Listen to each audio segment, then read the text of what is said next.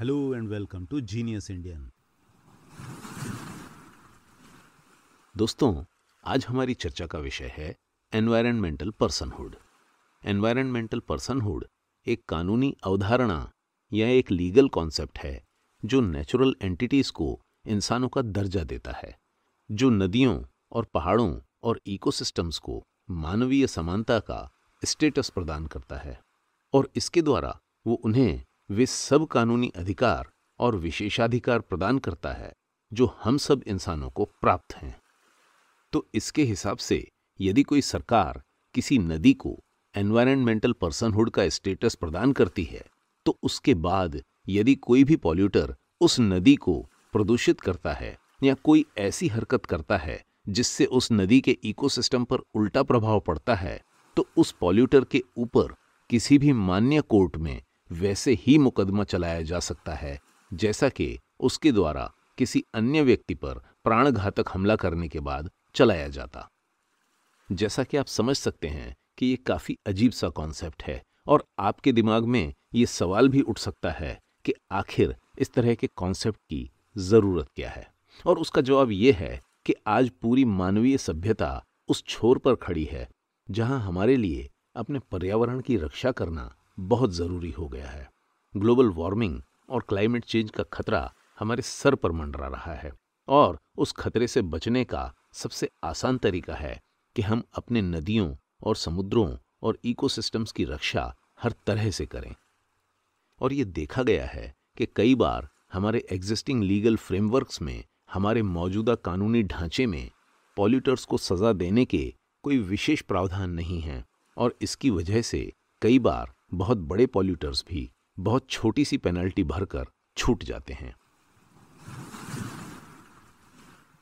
Natural entities को environmental personhood प्रदान करने का मुद्दा सबसे पहले अमेरिका के प्रोफेसर क्रिस्टोफर स्टोन ने उठाया था और आज से लगभग 50 साल पहले जब उन्होंने पहले पहल इस विषय पर बात की तो उनका कहना था कि जब एक समाज प्रगति करता है तो वो अपने वीकर सेक्शंस को धीरे धीरे नए राइट्स देता है, नए अधिकार देता है।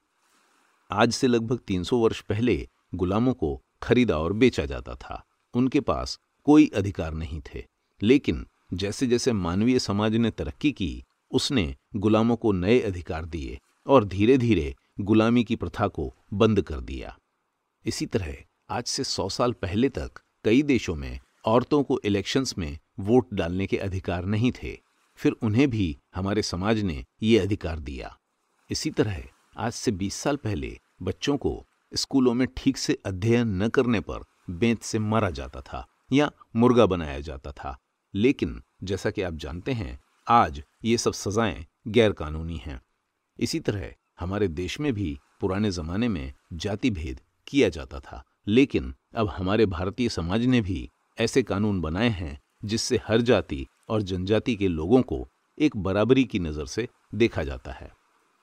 और इसीलिए प्रोफेसर स्टोन का कहना है कि अगर हमने पिछले 200 वर्षों के दौरान गुलामों, औरतों और बच्चों को नए अधिकार दिए हैं तो अब हमारा फ़र्ज़ बनता है कि हम अपने पर्यावरण को, नदियों और जंगलों और समुद्रों और इकोसिस्टम्स को भी नए विशेषाधिकार दें, जिससे उनकी पूरी पूरी सुरक्षा हो सके। और ये इसलिए आवश्यक है कि ये सब नेचुरल एंटिटीज हमारे जीवन के लिए बहुत ज़रूरी हैं। जैसा कि आप जानते ही हैं, स्वच्छ हवा और पानी और पेड़ों के बिना हम इंसान ज़्यादा दिनों तक जीवित नहीं रह सकते।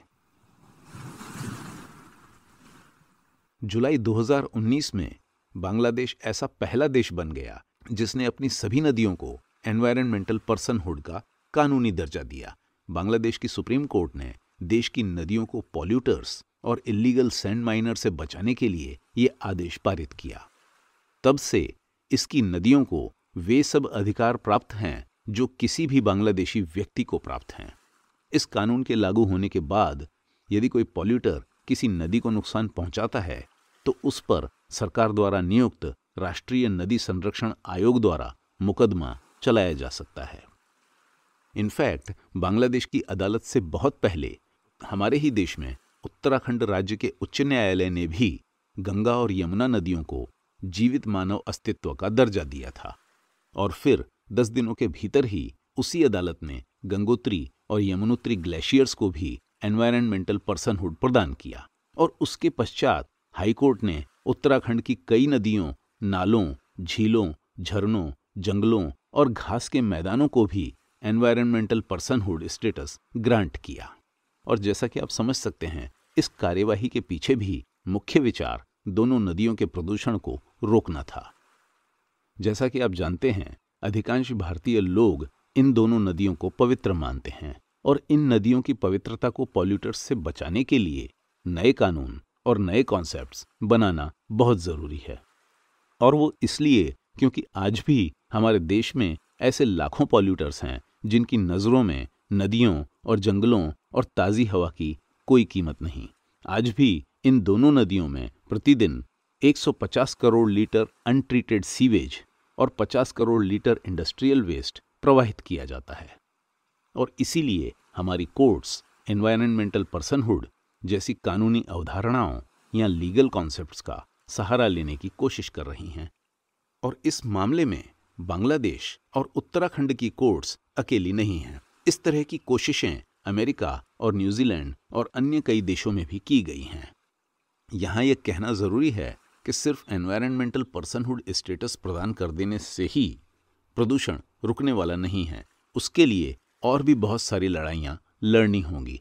लेकिन इतना कहा जा सकता है कि ये एक सकारात्मक कदम है और इससे पॉल्यूटर्स को दोषी ठहराने में कुछ और मदद मिलेगी। जहाँ हम आज पेड़ों और नदियों को एक व्यक्ति के अधिकार देने की कोशिश कर रहे हैं। वहीं हमारे पूर्वजों ने इन सब नेचुरल एंटिटीज को आज से हज़ारों वर्ष पहले अति मानवीय दर्जा दिया हुआ था। हमारे पूर्वज पेड़ों और नदियों और वायु को पूज्यनीय मानते थे। वायु और अग्नि और पेड़ों की पूजा हमारे देश में हज़ारों सालों से होती रही है। हमारे पूर्वजों ने पेड़ों की हमेशा रक्षा की और पीपल और बरगद के पेड़ों के नीचे मंदिरों का निर्माण किया।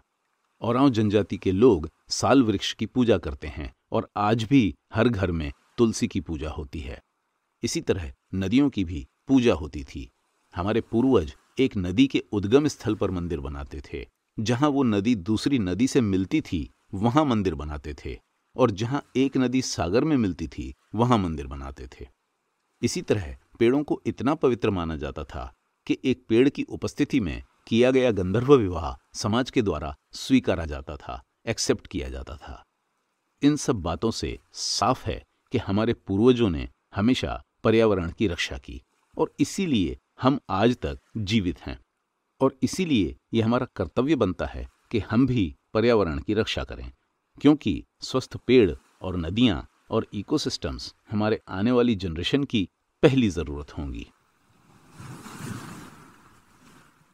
तो मित्रों, ये तो था एनवायरमेंटल पर्सनहुड पर एक छोटा सा डिस्कशन अगले एपिसोड में हम चर्चा करेंगे ऐसे ही किसी और टॉपिक की। तो कृपया उसे मिस न करें और उसे मिस न करने का सबसे आसान तरीका है जीनियस इंडियन चैनल को सब्सक्राइब करना और जीनियस इंडियन वीडियोस के ज्ञान के प्रकाश को चारों ओर फैलाने का सबसे आसान तरीका है इस वीडियो को लाइक और शेयर करना और इस चैनल को इम्प्रूव करने का सबसे आसान तरीका है अपने विचारों से मुझे अवगत कराना।